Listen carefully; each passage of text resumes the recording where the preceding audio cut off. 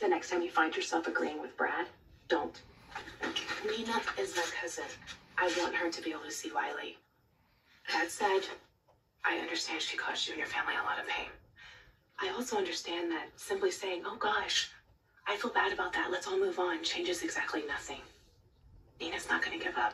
In her mind, Wiley is all she has. Well, that's too damn bad. It's not Wiley's job to fill the void in Nina's life. Okay, what happens when Wiley gets older? And, he, and Nina goes to him with her tale of woe. I wanted to see you, but your mother and father wouldn't let me. Oh, come on. Wiley is smart. He's not gonna fall for Nina's hysteria. Really? A rebellious teenager? You think he's gonna be okay with the truth? Sometimes you have to make hard decisions to protect your kids. So that's it. There's no option B. There's nothing else to, to fix this situation. Just think about it for one second. If Michael goes too far with Nina, it turns out that Nina really is Willow's mother, I mean, you know Willow, it'll change things for her, whether she wants it to or not. I'm certainly not gonna say anything right now. Yeah, can you imagine if Nina turns out to be Willow's mother? That's gonna be a huge problem for Michael and Willow. And what if the whole thing turns out to not be true?